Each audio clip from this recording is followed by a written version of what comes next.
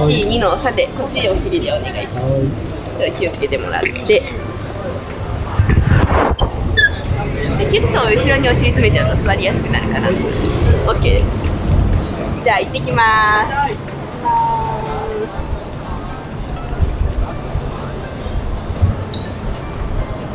でも今日なんかめちゃめちゃいい天気ですね。い。そうですね。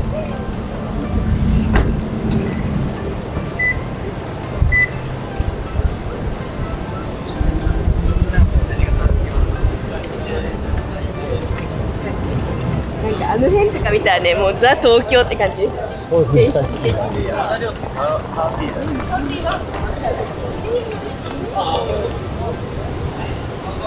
人力車はあの軽車両扱いなのでこんな感じで車道を爆走していきます信号も車と同じなんですね。あそうなんですよ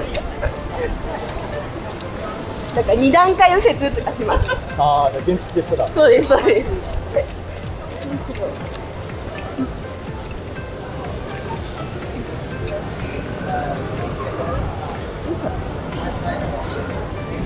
時間だけ確認させていただくんですけど、はい今、まあ、3時32分ですので、はいでも30分いただいてます。はい。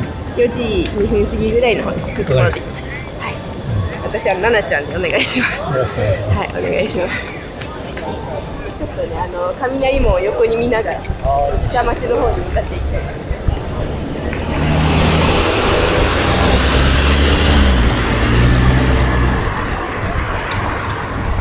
ずーっと小走りなんですね。あーでもね、意外とこう喋ってるからかあんまり疲れないんですよね。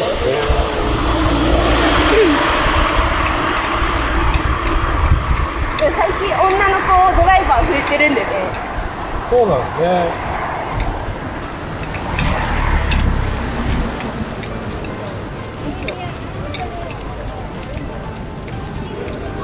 も今大学生なのでえアルバイトでー、アルやってバイトで？そうなんです。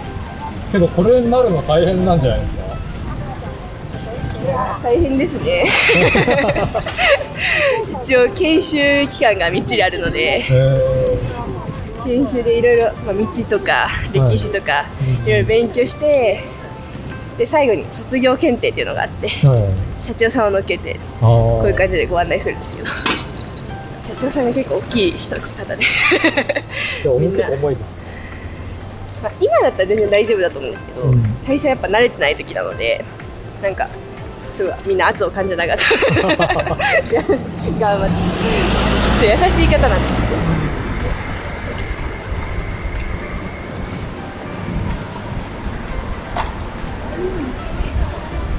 私はそう卒業検定に6回ぐらい落ちましたね。あ、そうですか。結構みんな何回も受けるんですか？みんなそうです。何回も受けて何回も落ちてでそれで、まあ、辞めちゃう人もいれば受かる人もいてで結構大学生の人が多いんですか？大学生多いですね今。たくさんいますよ。で女の子も30%ぐらい。三十パーセントぐらい？はいみんなが強いです すごい強いです 普通にお客さん二人乗せて走ったりするんですか？そうですね250キロまで大丈夫ですへえ。まだまだ食べてもらって大丈夫です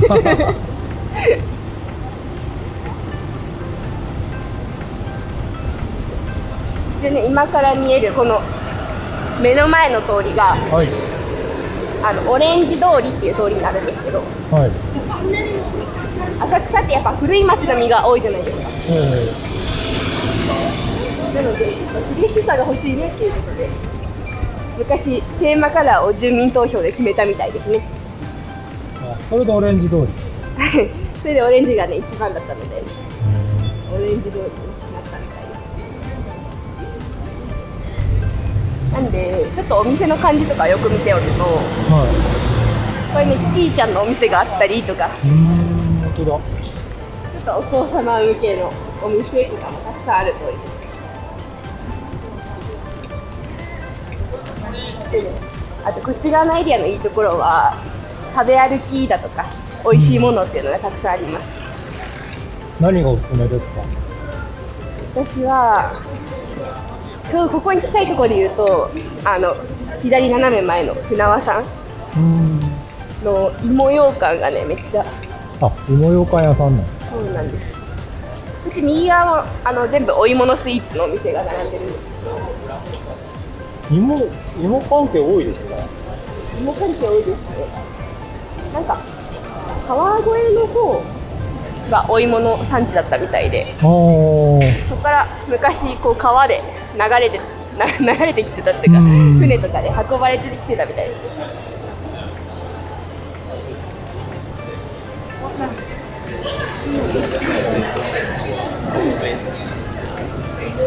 ソフトクリームとかめっちゃ美味しいです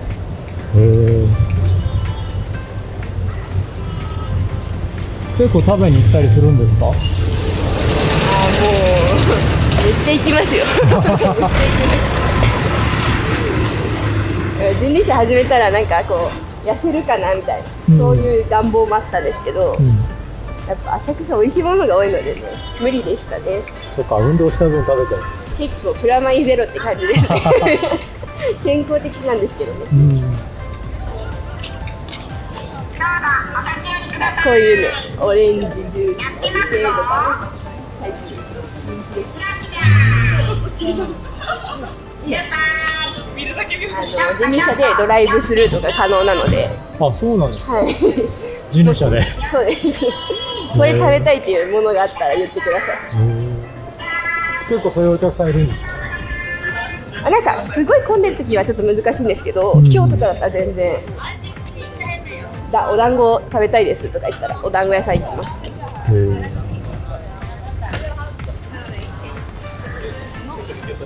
まあ、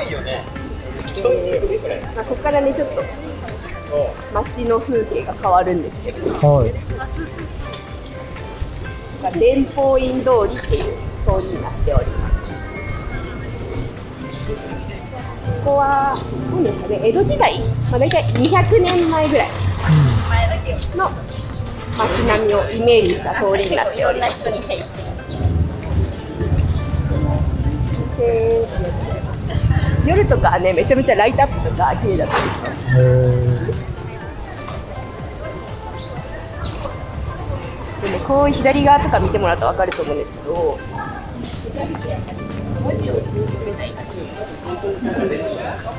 お店の外側壁にイラスト。絵を描くことでどういうお店かを表してましたよっていうのが。ああそれでみんな絵が描いてあるこれ入れます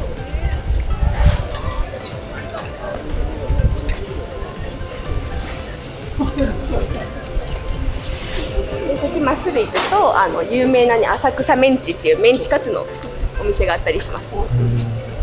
メンチカツが有名なんですね。メンチカツめっちゃ有名ですね。すごいもうすっごい並んでますよいつも。すごいことで。ここが実はたぬき通りって言って、はい。ちょっとパワースポットになっています。こんなこんな感じですねたぬきさんが。これはどんなパワースポットこれね全部で12匹たぬきいるんですよ。こっちこっちこっちこっちって。ああっちの方がいい。あそうですそうです、ね、全部違うご利益があるのでは例えばここだったら大黒たぬきって言って、まあ、商売繁盛お仕事系だとかお金系だとかのご利益がありますね。お金はね大事です。よねそうですね。すごい大事ですよねこれだったらね勉強系勉学系だとね。はい。この通りにずっといるんですねあにそうです。ねこれ全部それぞれ違うんですか？全部違うんです。でこれとかね私の結構一押しの小町たぬきちゃんで着物を着てるんですね。本当だ。で女子女性の方にもっとビューティーをこうアップするっていうたぬきです私も真剣ですねここ通るときは。ビューティーを求めてますから。女子力の女子力です女子力。こんこんな感じです。ああなるほど。全部違いますよ。12匹ですね全部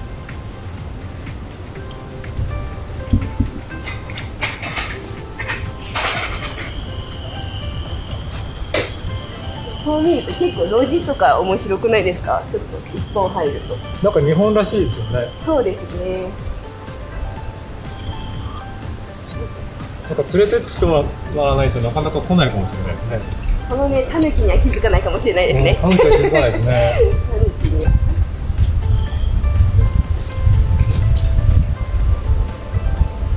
とあそこが今月あの三社祭りってはい一番大きいねお祭りがあるのでえそれでちょっと街中もお祭りモードになりつつあるっていう感じです。三社祭りはいつからなんですか？19、20、21の3日。間金、土、日であります毎年この時期に。そうですでも去年とかはやっぱコロナの関係で何ですかねおみこしがトラックに乗ってこう街中を走るみたいな今年はもうコロナの影響はないんですないので人が担ぎます。なんで私も今人力車はちょうど今3年目なんですけど。あ三年もやってるんですね。あそうです。意外と。結構大ベテランそそこまでじゃないです そう。初めてちゃんとしたね三社祭りを見ることができる。そうか3年前はコロナだったからもうすごかったですよ浅草。ただそのコロナになった頃少なかったですか、もう全然少なかったですね。仲見世通りになんか人がいないみたいなそういう状態です。外国の方もやっぱりいない。じゃあやっと賑やかになってきた。もう本当そうですねこれいきます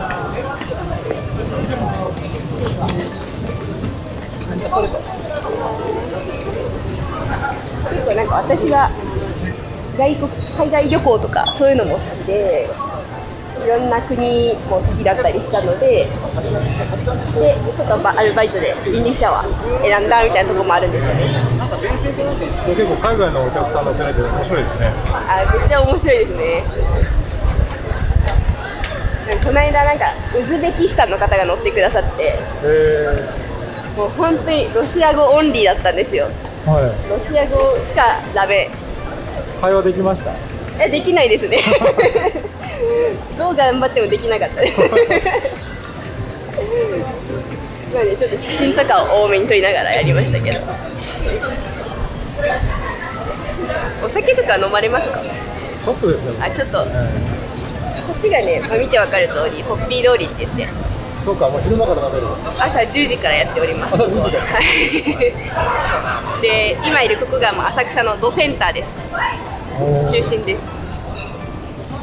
でこっちホッピー通りこっち行くとロック通りですね。ロック通りというのは？あロック通り。そうです。ここがね昔日本で一番混んだ通り混んだ混雑した、向こう側にドン・キホーテあるじゃないですか。はい。あそこまでもう人がいすぎて歩いて2 3 0分かかったって言われてるへなんか日本で初めての映画館が生まれたりだとかあの白い段々になってる建物、日本で初めての映画館だったりとか日本で初めての水族館あのボーリング場あとこっち行くと花屋敷っていう日本で初めての遊園地かながあったりとかそういったエンタメ系が全部ここ発祥なので当時テレビとかねなかったのでみんな人がここに集まったみたいですね。それでここが中心だったんですね。えーこんな感じで昔浅草で下積み時代を過ごした芸人さんたちがね並んでおります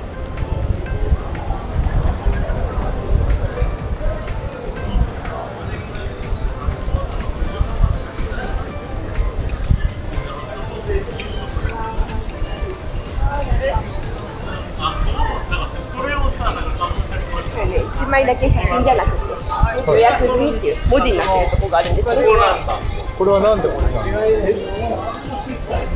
浅草といえばあリートたけしさんはいたけしさんがね予約してるみたいですねここあじゃあまだ入ってないけど。あそこは決まってるんですねそうですたけしさんの隣にいた写真の方があのたけしさんの師匠の方なんですよね。うん。なんで生きてる間は師匠の棚には並べないっていうことであだから予約済みなんですね。まだ予約してあるみたい。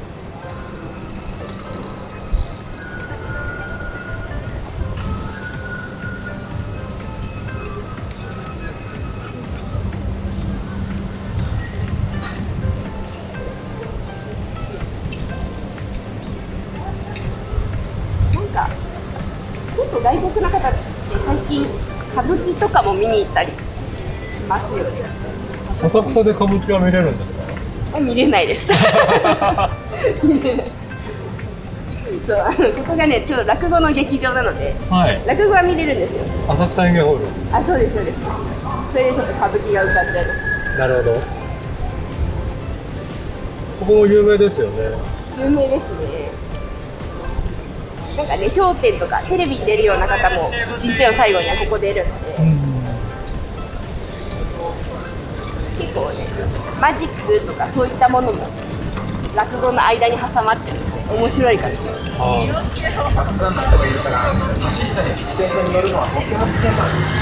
マジックとかあるから言葉が分かんなくても楽しめるかもしれない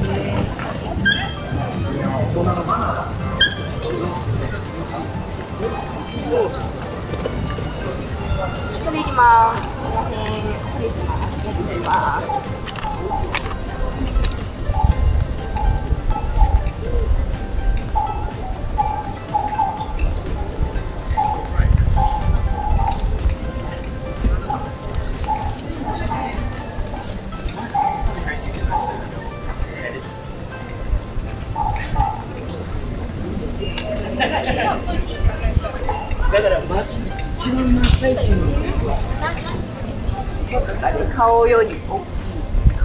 倍ぐらいのサイズのせんべい、タコせんが。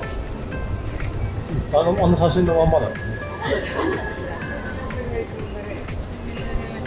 白い色最近やっぱりあの SNS でうんうんインスタとか TikTok とかでもうバズったりすると次の日大行列みたいな。ああそうですかはい。やっぱ SNS パワーがすごいです。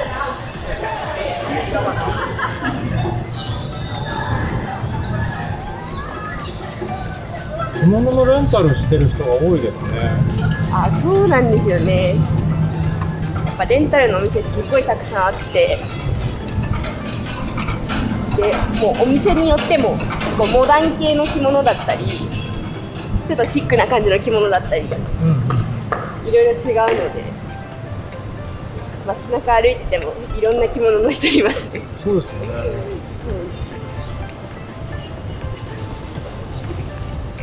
でもね、外国の方もなんか一日レンタルとかしたらね、結構多分テンション上がりますよね、ちょっと。そうですよねあれって人力車乗ったら楽しそうですよねね、で上がりますよね、すごい。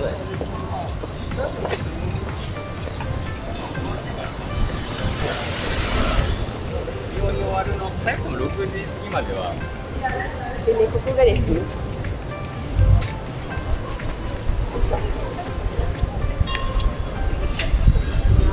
あの西参道って言って浅草寺に直結するところです。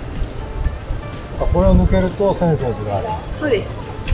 今ゲバって書いてあるんですけど、ここから先はもう人力車行けないので、まあ行くとしたら歩いてなんですけど、ここはね、中結構年中お祭りモードになっていて、うん。ではなんだろうな射的だとか金魚すくいだとかそういったのも楽しめますこの中は。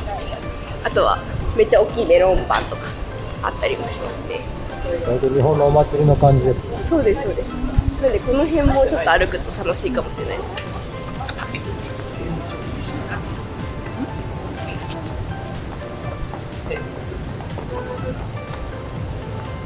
それってなんかお写お写真とかは大丈夫ですか？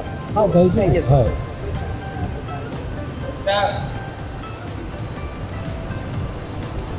結構人力車降りて写真撮るお客さんいますか？人力車に結構乗った状態でみんなうんうん私たちがカメラマンして撮ってもらえる。みたいなのは多いですそうですよね。せっかく乗ったらね。そうですね。でそれこそね着物着た方とかはうん。やっぱ写真たくさん撮りたいので、フォトツアーみたいになってますね、うん。いろんなところで、やっぱ海外の方は女の子がこういう仕事をやってるっていうのがすごい珍しいみたいですね。結構ビジュアル的に面白いですよね。面白い。面白いというかなんかこうよく引っ張れるなと思っちゃうというか。そうそうですよね。自分でもたまに思います よくやってんなと思ってやっぱり最初は大変でしたか最初は大変でした。最初は。やっぱ慣れてないと力の入れ方とかわからないんで。ああやっぱ慣れがあると慣れてくるとちょっと楽になる。そうですそうです。単純にパワーだけじゃないみたいな。もう今なら全然片手でもバランスを取れるぐらいなので。なるほど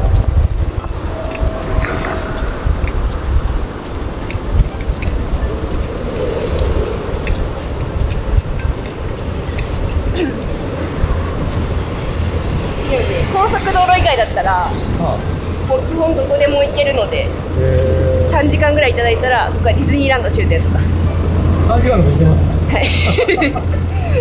任せてください。坂とかも大丈夫ですか？朝かまで大丈夫ですよ。よほど急じゃないといい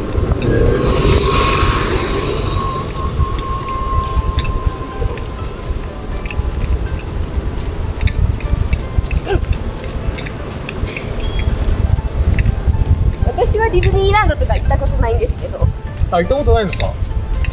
結構ね他の人とかだったらたまになんかそういうオーダー入ってまあすね。人力車で行ったことないそういうことですか？そうですそうです。あ行く人が本当にいるってことですか？あいらっしゃいますね。へー。えリアルに何どれぐらいの時間で行けるんですか一人めっちゃ足速い人がいて、その人は2時間15分で着いてましたね片道。2時間15分で、はい。ここからディズニーってどれぐらいの距離ですか？1 5 6キロじゃないですか。は2時間。い やばいですよね。いらっしゃいますね。なんかカスタマイズしたくなっちゃうんでしょうね多分。へえじゃあ向こうで降ろしてそうるですね。帰りはテクテクと。帰ってくるのも大変ですよね。そうですよね。まあでもみんな走るの好きなのでいいんじゃないですかえそういうちょっと遠くのお客さんってちょいちょいいるもんなんですか？あの例えば東京駅までとかだったら45分ぐらいで行けます。で送るとか。全然そんな人がいると思います 意外と使い方自由。でここからだとスカイツリーがよく見えますね。そうめっちゃ綺麗ですよねこれ人力車は夜は何時まで営業してるんですか？夜はだいたい6時7時ぐらいまでですね。じゃあ夕方ぐらいはみまだ乗れる？あ乗れます乗れます。もう夜もめっちゃ綺麗です。そうですよね、う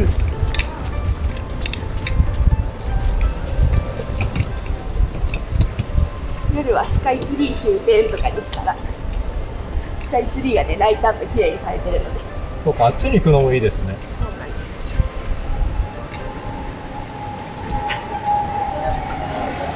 目の前の金色のビルは何者かご存知ですか？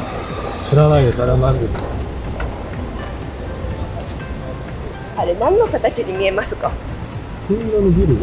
目の前にある金色の。まあその形ですか？形。上がボコボコしてるんですけど。もうちょい進んだら見えやすい。今ちょっと信号で隠れてるじゃん。そうですね。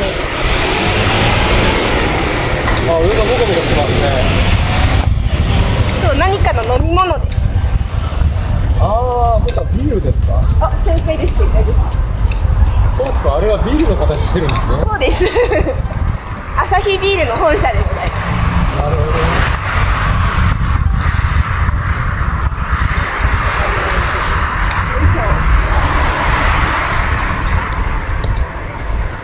で相当街を勉強したんですね。そうかもしれないそこはねボコボコの最上階レストラン入ってるのではいはい。それこそ夜景とかすごい綺麗なところですねああそうですよね。隅田川よくそう。私は最近この辺走ってる時にあれ見るとなんかあビール飲みたいなって思うようになっちゃって。いいですね。外回りにね。良くないなって。ちょっとあの反省してますね。さすがに不意打ちに飲みたいとか良くないなと。そうかもう止まってる時は全然もうこれでバランス取れちゃうんですね。あそうですね。意外とね軽々。腰腰掛けてるだけ。はいこれで全然。すごいな。一応後ろに転倒防止バーっていうものがあるので完全に倒れないようにはなっててあとは自分でバランスを取るという。けどお客さん2人乗せたらやっぱり大変じゃないですか？意外とむしろか体重がかかって進みやすいみたいこんな感覚ぐらいです。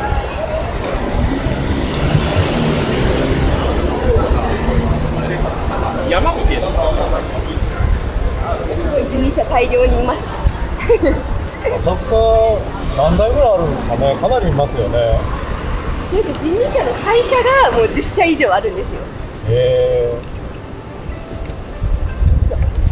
で私の会社は結構もう30人40人とドライバーいるので。えドライバーが。はい。その中で女性は何人ぐらいいるんですか？今はもう15人ぐらいいますね。えでもそっか。半分近くはい。めっちゃ強いです。本当にはい。戻りました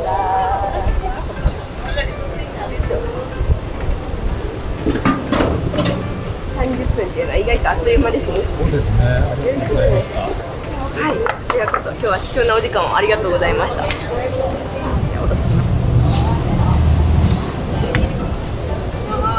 ぜひ日本に来た際には人力車に ぜひ浅草へはいありがとうごおざいます願いします。でこれだけ取っちゃう。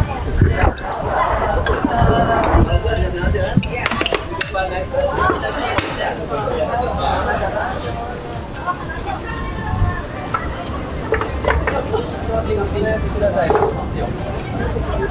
Thank you.